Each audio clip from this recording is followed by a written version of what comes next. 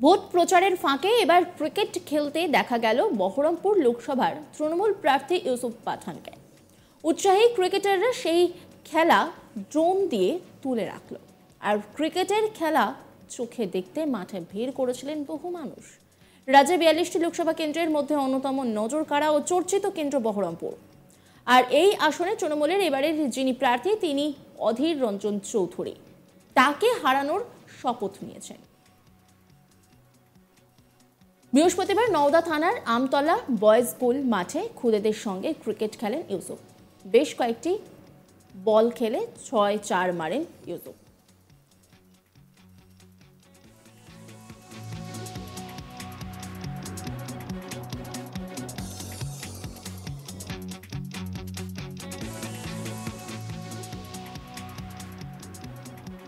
বাঘ আচরা মিলন সঙ্গের ক্রিকেটারদের সঙ্গে ক্রিকেট খেলেন মাত্র দু ওভার।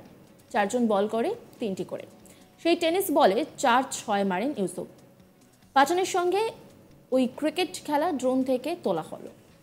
ইউসুফ পাঠানকে পেয়ে খুশি ওই ক্লাবের বিভিন্ন ক্রিকেটার সহ এলাকার মানুষ। খেলা শেষের পর তিনি মঞ্চে উঠে কর্মী সমর্থকদের উদ্দেশ্যে বলেন, খেলা হবে। তিনি বলেন, আপনারা আমার সঙ্গ দিন।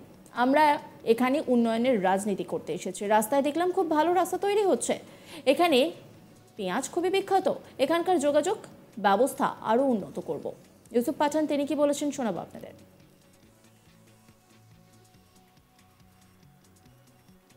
तरह आप उस पर प्यार बनाए रखे आप मेरा साथ देते रहे यही गुजारिश है आपकी जिस तरह से मैंने कहा कि हम यहाँ पे डेवलपमेंट की पॉलिटिक्स करने आए हैं मैंने भी रास्ते में देखा काफ़ी अच्छे रोड भी बन रहे हैं। और साथ साथ में यहाँ पर ऑनियन बहुत फ़ेमस है।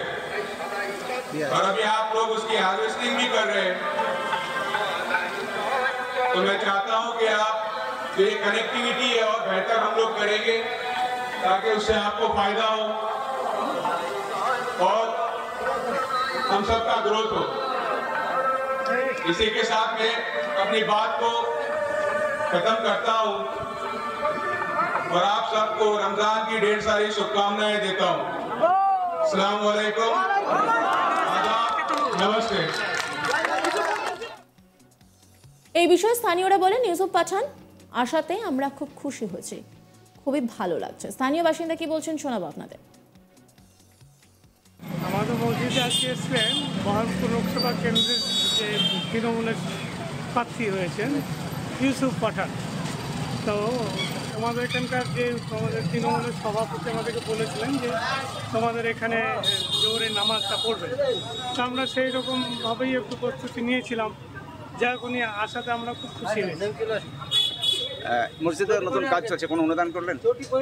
না আমরা সেই ধরনের বলিও নি। এটা প্রথম এসছেন আমরা বললেও হয়তো কেমন হবে ওইভাবে আমরা বলি। কেমন লাগল আজকে উনি আসাতে? খুবই ভালো লেগেছে। খুবই ভালো লেগেছে। পরবর্তীতে আবার এরকম প্রোগ্রাম হলে এবারের লোকসভা কেন্দ্রের মধ্যে অন্যতম নজরকাড়া ও চর্চিত কেন্দ্র বহরমপুর। এই আসন থেকে অধীর রঞ্জন চৌধুরী টানা পাঁচবার জিতেছেন। এবছর কংগ্রেসের পাঁচবারের সাংসদকে কড়া টক্কর দিতে তৃণমূল বিশ্বকাপ জয়ী ভারতীয় দলের প্রাক্তন ক্রিকেটার ইউসুফ পাঠানকে প্রার্থী করেছে। কলকাতা ব্রিগেডের জনতার গর্জন। সভা নামে যে নাম ঘোষণা হয়, বারো দিনের মাথায় ভারতীয় দলের প্রাক্তন তারকা ক্রিকেটার বহরমপুরে পা রাখেন।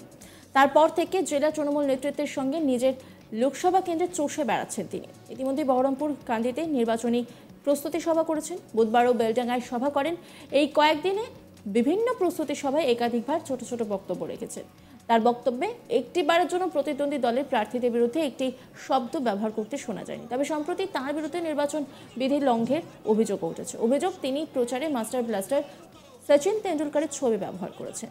এই অভিযোগে কংগ্রেস নির্বাচন কমিশনের দ্বারস্থ হয়েছে এই বিষয়ে ইউসুফকে প্রশ্ন করলে তিনি বলেছেন আমার অনেক ভক্তই রয়েছেন তারা আমার ছবি যেখানে ইচ্ছা লাগাতে পারেন তাদের অধিকার আছে কেউ যদি এর বিরুদ্ধে হয় তাহলে সেটা লিগ্যাল টিম দেখবে ইউসুফ পাঠান কি বলছেন শোনাবো আপনাদের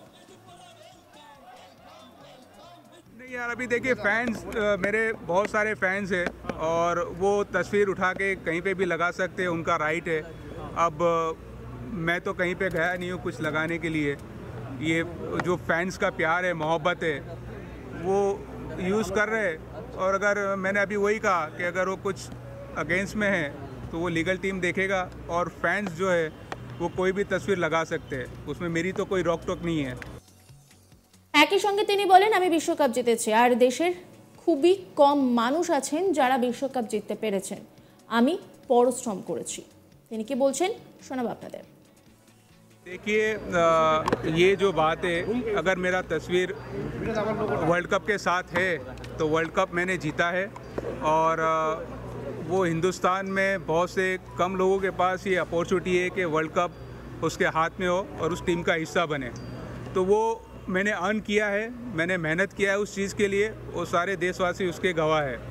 और दूसरी अगर बात है कि अगर वो लॉ के अगेंस्ट में है तो वो लीगल टीम देखेगी उसका किस तरह से अ, उसको सॉल्व करना है वो लीगल टीम का काम है लेकिन अगर ये बात है तो वो चीज़ तो मैंने अर्न की है आप सभी उसको एक्सेप्ट करेंगे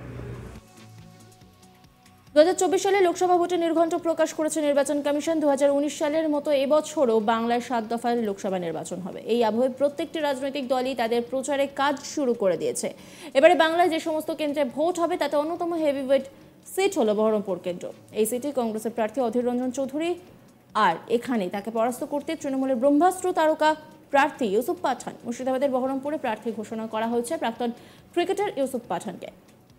এতদিন বাইশ গজের মাটিতে খেল- বেরিয়েছেন তিনি।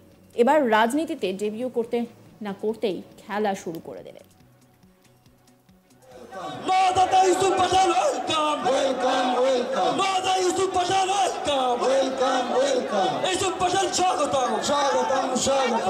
ಪಟನ್ ಸ್ವಾಗತ ಸ್ವಾಗತಂ ಸ್ವಾಗತ ಎಸ್ಎಂ ಪಟನ್ ಸ್ವಾಗತ ಸ್ವಾಗತಂ ಸ್ವಾಗತ ಎಸ್ಎಂ ಪಟನ್ ಸ್ವಾಗತ ಸ್ವಾಗತಂ ಸ್ವಾಗತ S M Pathan welcome welcome welcome welcome welcome S M Pathan welcome welcome welcome S M Pathan ಸ್ವಾಗತ ಸ್ವಾಗತಂ ಸ್ವಾಗತ ಎಸ್ಎಂ ಪಟನ್ ಸ್ವಾಗತ ಸ್ವಾಗತಂ ಸ್ವಾಗತಂ ಎಸ್ಎಂ